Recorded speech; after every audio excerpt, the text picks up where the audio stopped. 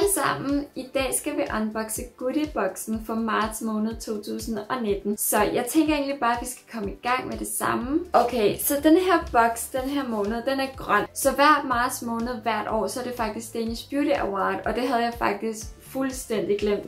Så den her marts måned, der er det Goodiebox prisen 2019, vi har her.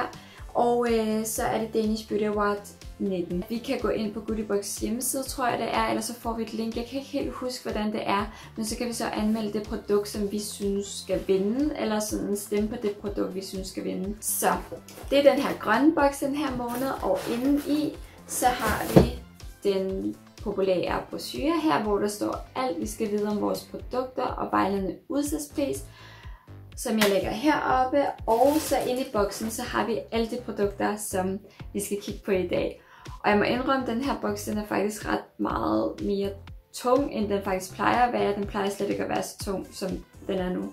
Så må ikke der ligger en bodycreme i den her eller et eller andet. Så det første produkt, det er et produkt fra The Ritual, eller Rituals tror jeg bare det hedder. Og det er en Happy Foaming Shower Gel. Så den her gel, det er faktisk en, man bruger til badet på ens krop. Du sådan smørter ind i det, og så giver det sådan bobler i vandet, hvis du tager et boblebad, hvis du godt kan lide det. Det kan jeg personligt ikke lide. Men ellers så kan du også bare bruge det i bruseren. Det her det er faktisk et full size produkt, og der er 200 ml i denne her, og vejledende udsalgspris er kun 75 kroner. Og det er faktisk ret billigt, synes jeg, altså for, for sådan en øh, shower gel der øhm, hvis den er god, også fordi det, det er Rituals, altså det mærke der. Jeg er for eksempel rigt, blevet rigtig, rigtig glad for øhm, deres håndcreme, som jeg fik af Look Fantastic for i måned. Og øh, det er også for samme mærke som, ja, jeg glæder mig rigtig meget til at prøve den her. Og der står faktisk, at det er med Sweet Orange og Cedarwood, hvad end det betyder. Og det dufter faktisk, åh, det dufter virkelig, virkelig godt, seriøst. Det dufter så frisk og et hint af appelsin. Jeg synes ikke, det dufter så meget appelsin, men det er sådan, måske derfor, de har sat ordet sweet foran, så det bare sådan er lidt. Nå, lad os gå videre til det næste produkt. Okay, det næste produkt det er et produkt fra Rodial, og vi har, mm, hvad kan man sige, vi har fået nogle produkter fra det her mærke før. Men jeg har aldrig prøvet nogle produkter fra det her mærke, fordi at øh, ja, nogle af dem har jeg ikke åbnet og prøvet endnu, men så var der også til at starte med, så fik vi sådan en pen, og det var sådan en lipplommer. Og øh, min virkede bare ikke, så jeg fik aldrig mulighed for at så prøve den, så jeg fik et andet produkt i stedet for. Men så jeg har faktisk ikke prøvet et produkt for det her mærke før, men jeg har hørt, at det skulle være rigtig godt. Og det her produkt, vi har fået den her måned, det er, øh, det er en cleansing water, så det er faktisk et produkt, du bruger til at rense dit ansigt med. Det her det er faktisk ikke et full size produkt. Der er 100 ml i den her, som vi har fået i den her boks den her måned. Men for 300 ml så er vejledende udsalgspris 325 kroner. Så det vil sige, at den her den har en værdi på cirka lidt over 100 kroner. Jeg har en derinde nu fra Garnier, som koster 49 kroner, og der er meget mere produkt end i den her, og den synes jeg er rigtig, rigtig god.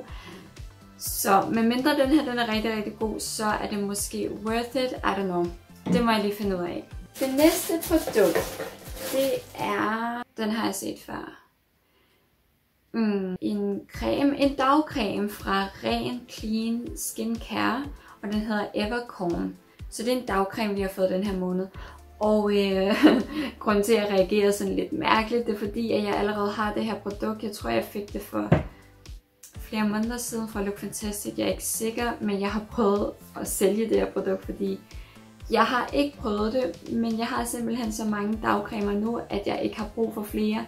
Jeg vil gerne nå at sådan bruge dem op, før jeg får flere dagcremer ind, eller hvad man kan sige. Det her det er ikke en full size, men for 50 ml så er vejledende udsalgspris 340 kroner, og der er 15 ml i denne her. Altså det ved jeg ikke, det kan godt være, at jeg skal prøve den. Nå, vi ser. Jeg finder ud af, om jeg vil prøve den eller ej. Jeg kan ikke rigtig finde ud af det. Det næste produkt er et produkt fra Gosh, og det er en Growth Serum. Øhm, og det her, det er faktisk til ens øjenvipper Lash Serum, og der er 6 ml i denne her. Så meningen med sådan en serum, jeg ved ikke, altså i kender det sikkert derude, de der serumer, som er. Men det skal faktisk gøre, at man får længere øjenvipper, eller sådan. Jeg ved ikke, om det går ind og så plejer vipperne, og så får dem til at så vokse sig sundere, eller bare hurtigere på en eller anden måde. Det ved jeg ikke. Men der står i hvert fald her, at man burde se resultater inden for de næste to uger. Eller i hvert fald efter to uger. Så øh, det er jo rigtig spændende. Lad os lige se vejledende udsalgspris på den her, fordi sådan noget her burde være rigtig, rigtig dyrt, eller det har jeg i hvert fald set. Okay, det her det er faktisk et full size produkt, og vejledende udsalgspris er 249 kroner. Det er ingenting.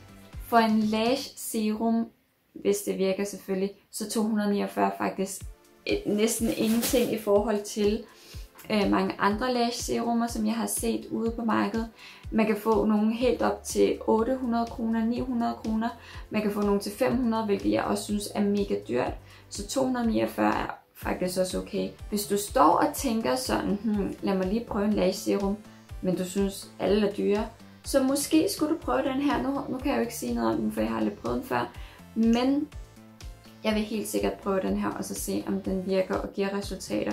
Og selvom jeg har single lash extensions på, så, altså, så kan man jo stadig bruge dem her ved randen, øhm, for at ens lashes skal vokse. Så jeg er så glad for, at vi har fået det her produkt. Jeg glæder mig rigtig meget til at se, om det virker eller ej. Så har vi fået et produkt fra Sandstone, og jeg har aldrig nogensinde prøvet det her produkt før, eller noget fra det her mærke før. Og det er en Mascara Intense Definition and Length Mascara. Og det er i farven sort, altså black. Og der står faktisk her, at det er vegan, så det er vegansk, hvis man går op i det. Så det er jo mega lækkert. Så ind i så ser den sådan her ud. For ikke så lang tid siden, jeg tror det var forrige gang, eller jeg tror det var sidste gang eller forrige gang, jeg var hos øh, Stine, altså SMC Lashes, og få øh, en opfølgning af min vipper, så øh, fortalte hun mig, at man gerne må bruge mascara på sine vipper, som man har fået påsat, bare den var oliefri. Så jeg købte faktisk en Youngblood mascara, som er oliefri, fordi jeg elsker bare produkter fra det mærke. Youngblood, det er bare et af mine yndlingsmærker, så jeg fandt en rigtig, rigtig god en, og den er oliefri, så det er jo bare perfekt. Så hvis den her er oliefri, så kan jeg sagtens bruge den. Hvis den ikke er, så Ja, okay, der er olivenolie i den her, så jeg vil ikke kunne bruge det direkte på de her øhm, single lash extensions, men jeg ved ikke, om man må bruge det på ens lower lashes eller noget. Nå, det ved jeg ikke. Det må jeg lige finde ud af. Om ikke andet, så kan jeg jo gemme det til den dag, jeg ikke bruger single lash extensions mere, eller et eller andet, hvis det nogensinde sker, det ved man jo ikke. Men ja, ej, det finder jeg ud af. Men jeg synes i hvert fald, det er mega nice, at vi har fået det der produkt. Så det her er faktisk det sidste produkt, og det er fra Car Carmamehu, eller Carmamehu. Seriøst, jeg ved stadig ikke efter så lang tid, hvordan man udtaler det her produkt. Men det her, det er en Hero Age Defense pH Solution. Der står, at det er til ansigtet, det er til kroppen, det er til ens hovedbund, øhm, for at hvad kan man sige, stabilisere ens pH-værdi, efter man har brugt vand eller sæbe. Men det er fordi, at vand eller sæbe sådan, hvad kan man sige, gør et eller andet med vores pH-værdi, så det ikke er så godt. Jeg ved det faktisk ikke. Men der står, at den ikke har nogen parabener eller silikone eller animalske produkter. Så det er jo en god ting. Der står faktisk herinde i den her brochure, at den skulle sådan øh, balancere din pH-værdi, eller sådan balancere din hud og din hovedbund, og den genopbygger den naturlige beskyttende barriere efter kontakt med vand. Så det lyder egentlig meget godt, det som den kan gøre, hvis den kan gøre det. Så der står faktisk det, at det første produkt, man skal bruge, efter man er kommet ud af badet, efter man har renset sit ansigt, eller at man har vasket sine hænder, står der faktisk også så kan man bruge den her for at skabe en beskyttende barriere på ens hud. Så det lyder faktisk meget interessant, altså meget spændende. Jeg har ikke hørt, at man skulle bruge et specielt produkt bagefter. Jeg har altid, når jeg går ud af badet, så har jeg enten taget en, en body lotion på. Det er meget, meget sjældent, jeg gør det, fordi jeg hader simpelthen og så smører mig ind i det der fedtede stof. Det er meget sjældent, det er kun hvis jeg har virkelig, virkelig tør hud. Men ellers så smører jeg mig altid ind i enten øhm, så bruger jeg sådan en ansigtsserum og så en ganske almindelig ansigtscreme, og så er det faktisk det. Men det bliver spændende at prøve den her, og så se, om den gør noget, når man har sat den ind i ens rutine. Låget det er sådan gået lidt i stykker. Der er sådan en kæmpe revne i. Men altså, det gør nok ikke så meget, fordi... Ej, det tror jeg ikke gør så meget om det. Det her det er faktisk et full size produkt. For 200 ml, så står den til 199 kroner. Hvilket jeg ikke synes er særlig meget, fordi at det netop er 200 ml. Det er faktisk ret meget produkt, man får. Selvfølgelig, hvis man bruger det hver dag, øh, hvad hedder det, på hele ens krop, så er det måske så løber det hurtigt op, ikke? Men øh, sådan generelt synes jeg, det er fint nok, hvis man bare bruger det til ansigtet eller til hænderne. Så ja, glæder mig faktisk til at prøve det her produkt. Så ja, det var faktisk de seks produkter, vi fik i alt. Så igen en kæmpe stor variation som altid. Der var faktisk ikke super meget makeup den her gang. Der var faktisk kun en mascara, som er meget sådan et meget naturligt produkt. Jeg tror, der er rigtig mange kvinder, som bruger mascara.